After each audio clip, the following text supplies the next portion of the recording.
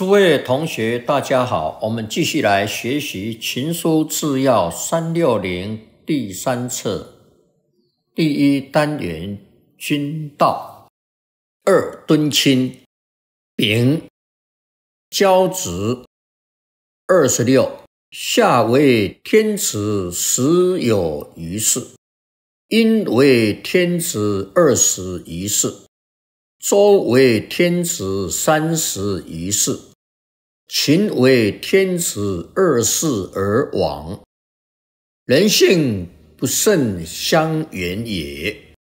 何三代之君有道之长，而秦无道之暴也？其故可知也。古之王者。太子乃生，故己以礼，使事复之。有失其数端冕，见于天也。过缺则下，过妙则屈。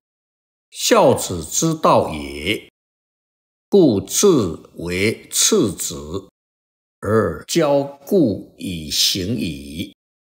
这一条出自于《建十六·汉书·释》，“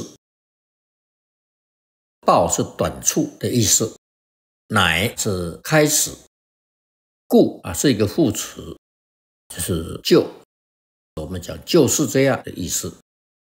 有司啊是一个官吏的名称，古代啊设官职、温职，各有专司，各司其职啊，所以称有司。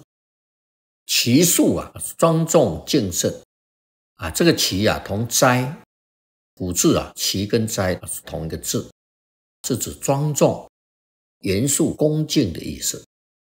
端冕呐，就是玄衣和大冠，就是穿这个衣服、帽子。古代帝王啊，贵族的礼服。这个缺这个字啊，是宫门、城门两侧的高台。中间有道路，台上啊起楼观，庙啊是指宗庙的前殿，宗庙是先祖灵位的所在。趋是趋向的趋，跟这个趋同样那个音那个意思，古代的一种礼节了，就以碎步疾行表示敬意，就是快步，很快的啊走过去，这是趋。就是不敢怠慢的意思。次子是婴儿，那么这一条就讲教子、教子女了。贾谊上书说，夏朝天子传了十几世，殷朝啊天子啊传了二十多世，周朝天子传了三十多世，秦朝天子传到第二世就灭亡了。以上啊讲到从。夏商周天子啊，他的国祚国家呢啊，传的时间的长短，夏商周传的时间长，那秦朝呢，他才第二世就没有了。那什么原因呢？跟教育啊，教子女有密切的关系。人的本性啊，相差并不很大。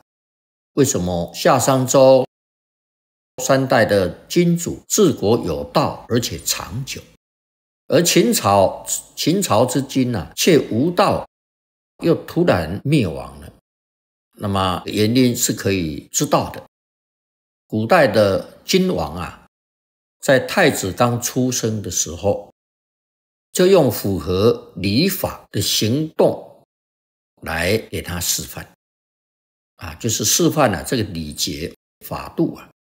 给太子啊，给他看，给他模仿，跟他学习。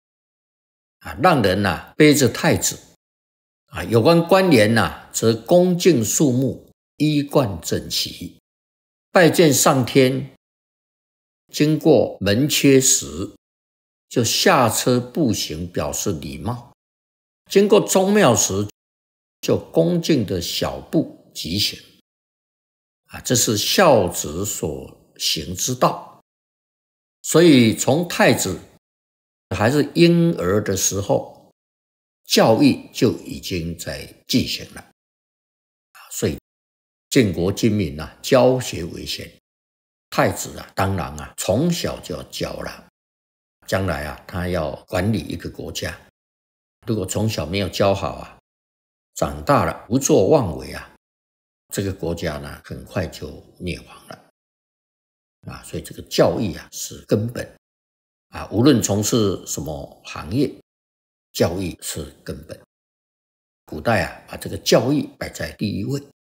那现在呢，人呐不懂得教育啊，所以现在呢，世界动乱不安。都是啊，从小啊没有接受圣贤教育所导致的。好，这一条我们就学习到这里，祝大家福慧增长，华喜充满，阿弥陀佛。如果喜欢我们的影片，欢迎订阅频道，开启小铃铛，也可以扫上方的 Q R code，就能收到最新影片通知哦。